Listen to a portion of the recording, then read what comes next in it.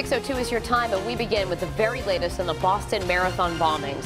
Dzhokhar Tsarnaev, the surviving suspect, is going to make his very first court appearance in just a few hours inside federal court in Boston.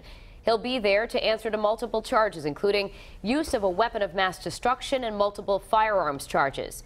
He, along with his deceased brother, are accused of setting off the bombs at the finish line of the Boston Marathon, killing three people and injuring almost 300 more. Then a few days later, the Tsarnaev brothers allegedly killed MIT police officer Sean Collier before getting into a shootout with police in Watertown, Mass. That gunfight sparked an hours-long manhunt for Dzhokhar until, of course, he was found hiding in a boat. Right now, we want to go live to Eyewitness News reporter Andrew Adamson. He's outside of Boston Federal Court now with the very latest. Andrew?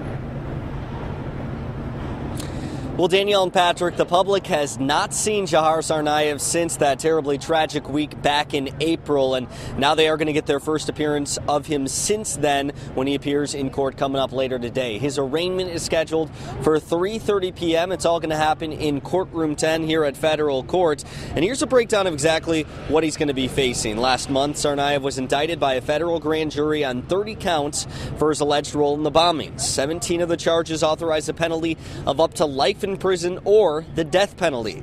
The remaining charges also carry a life sentence in prison or a fixed term of years.